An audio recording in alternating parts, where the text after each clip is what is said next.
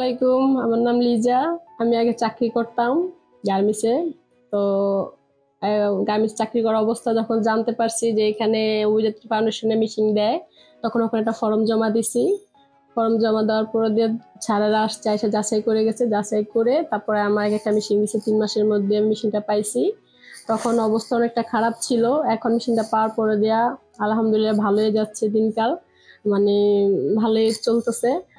আর আমার ফ্যামিলির সদস্য সবাই এখানে থাকে, ঢাকায় থাকে। তো এখন আম- আমি আমার বাচ্চা মানে আমার ফ্যামিলিতে আমার বাচ্চা আর আমার হাজবেন্ড এরা আছি।